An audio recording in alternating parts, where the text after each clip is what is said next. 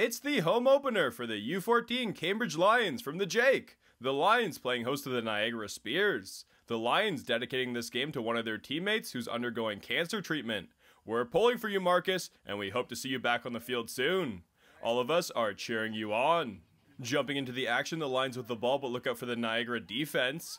William Taylor breaks through the line and takes out the runner. The Lions would keep driving their way downfield, but it's more from the Spears on defense. It's a hard drive from Logan Jansen. The Spears surround him and force the fumble. Raphael Robinson gets on top of it, and Niagara turn the ball over.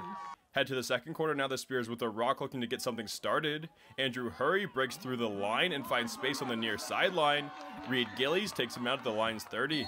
The Spears move to scoring position and a few downs later. How about this play? Andrew Hurry looks for an end zone pass. Owen Saunders is good for the touchdown.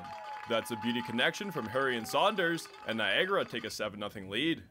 Late in the half now, the Lions forced to punt for territory. Hudson Grant finds the ball at the center line and he turns up field.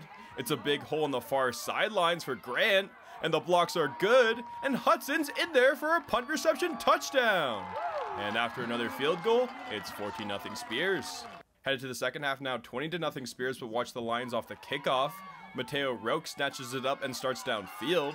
It's a great couple sidesteps from Mateo, and he's got space on the near sidelines. Hudson Grant is on his tail. Mateo shakes off Grant, and he's in there for a Lions touchdown. And Cambridge are on the board. And after a clean kick from Anthony LaRusso, it's 20 to 7 Spears.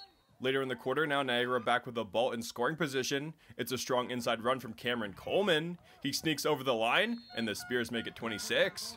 Jumping right to the fourth quarter, the Spears back with the ball looking for more. Andrew Hurry launches it deep to the end zone. Hudson Grant reaches over the defense and makes the catch.